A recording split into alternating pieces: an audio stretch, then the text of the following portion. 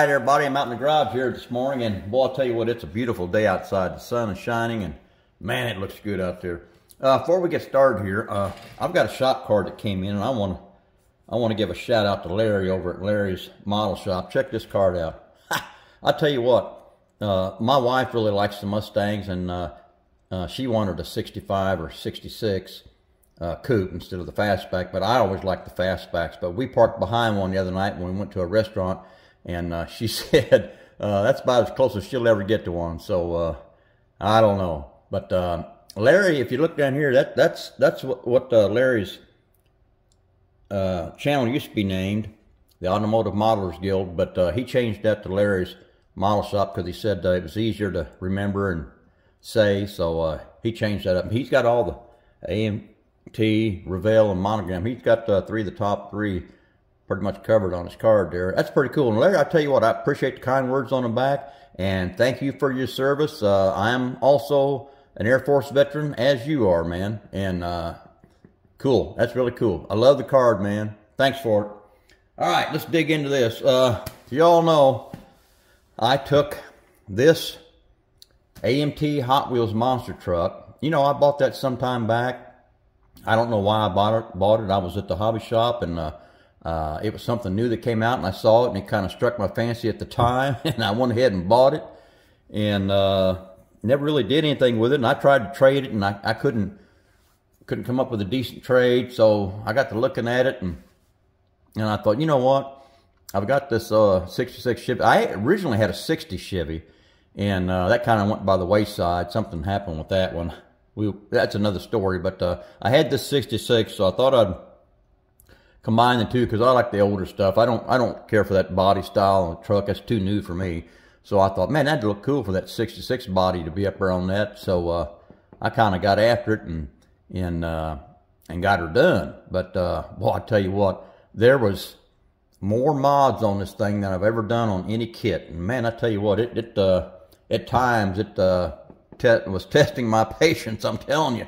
But uh, let me let me move these boxes out of the way and get the uh, get the finished product moved over here and we'll take a peek and see what she looks like, boys. Hang on just a minute. All right, fellas, there she is.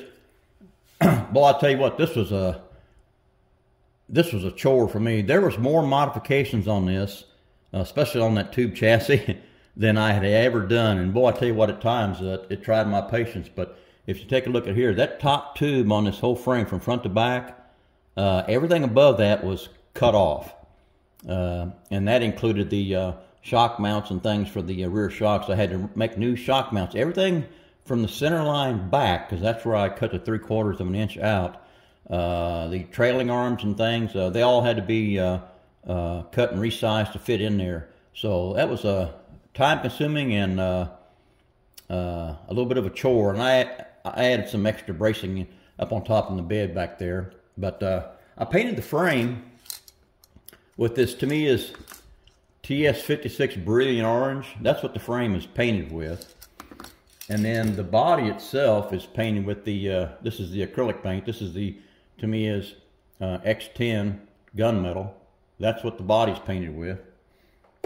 And I think it came out pretty pretty good. I, I, I really like it. Um, before I polished it out, now there's no clear on this whatsoever. So all I did after I painted it, um, I polished it. Uh, well, I, I, put some cutting compound.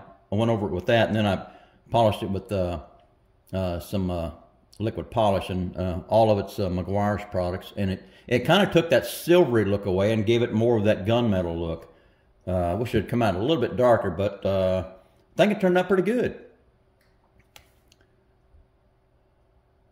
Now, the body is all glued together. It's all one piece because uh, I was having trouble trying to uh, make uh, mounts and everything up on top of that tube chassis to fit everything and make it uh, all straight. So the, what I come up with, I added some shims between the cab and the bed uh, and glued and glued those in place, and then glued the whole body together as one unit, and come out pretty good. Now, excuse me. Uh, I'll pop the hood off here in a minute, but uh, let's take a trip around this thing. I don't know where, I found those decals in my uh, parts box. I'm not sure where those come from, what kit those come out of, but uh, I just as soon as I saw those, I knew that's the ones I was going to use. I, off that same sheet, I took the STP stickers and the uh, the uh, hooker headers, and then uh, up on top, up here on the hood, you can see I've got some. Uh, put my hand behind that. I got some decals that I put on there. I'll put that hood back on for the time being. that hood fits pretty good. That's a uh, four-piece hood. You got to put it all together. Uh, it, it turned out pretty good. There was a lot of sanding to do on that because it didn't want to fit very good from side to side. So, uh, and then fit flat down on the on the top of the uh, body up there. So a lot of sanding went on up there, but it turned out pretty good. Uh, the kit for the 66 actually gives you decals for back here. They give you white or black, but I didn't use any of those. Uh, that's uh, uh, uh to me a black wash that I put in there. Uh, I thought that would look a lot better, and it turned out really good. And then I put some decals uh, down here on the differential front and back. Those are the Isky cam decals, this old boy's running Isky cams in this old big old Hemi. There's some massive tires and wheels, aren't they? Man. the uh, the engine that's in this is, I'm calling it a 565 cubic inch Hemi. It's a blown supercharged Hemi engine. Uh, it comes from uh, Iceman Collections. I bought it off uh, off of uh, offline there, and uh, that was a pretty cool, pretty cool kit. Uh, that engine, that thing is, that thing was pretty sweet. Now we'll get, we'll, I'll show you that here in a little bit. I'll take the camera off the uh, tripod here, and, and, we'll take a little bit better look inside. But uh, all in all, I think this thing came out pretty good. I really, when I decided I was going to paint those butterflies up there red, and it just automatically went I had had to put red lights in there, and uh, I don't remember those come from the parts box too. I don't remember what they come from, but uh, I just thought that was uh, fitting for the front to, to match the the butterflies up there. I thought that looked pretty cool. All right, guys, give me a minute here. Uh, I'm going to take the camera off the tripod. We're going to take a, a look uh, in the engine area and, and in the cab. Hang on. All right, fellas, let's go up here and take a look inside the business in here now. Like I said, that's that Iceman. Uh, you know, when you buy these engines from Iceman, it, well, on mine anyway, the bag, it shows you a picture of a Hemi, a blown supercharged Hemi engine, but it doesn't tell you the cubic inch. So uh, I kind of looked online and, and um, I thought maybe a 565 would be fitting for this. Uh, I did wire the engine and I wired the MSD box up there on the firewall and I wired the uh, battery as well. And that engine is just pretty cool. Uh, I decided to go with the black valve covers and the, and uh, the black uh, blower hood up there with the red butterflies. I thought that was just really cool. and if we can look inside here, uh, I really totally modified the inside here. I pulled that bench seat out and I put in that one racing seat in the middle so that driver could uh, get a, lot better view when he's jumping over those cars and things. Kind of hard to see inside there, but uh, uh, and I also used the uh, the uh, gauge cluster off the Hot Wheels monster truck. I mounted that up onto the dash. I'm gonna try and get a better shot in here so you guys can see this. I don't know if, it, if it's gonna work or not, but see what we can do here. No, it's just not gonna let me do anything and get a better picture. But anyway, you can kind of see it.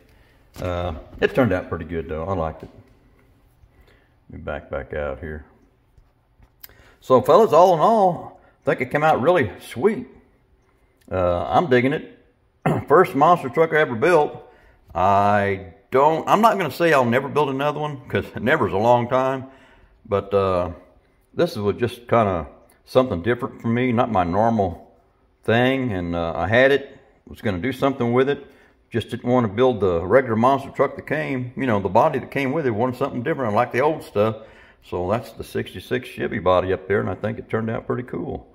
give it a little bit shorter wheelbase and uh, and that big ass honking engine up there, that Hemi engine, boy, that just that just kind of made it for me. I think that turned out really sweet. All right, guys, uh, like always, uh, you guys take a look at it. You tell me what you think, and uh, I think that's about all I got on this one. I'm done.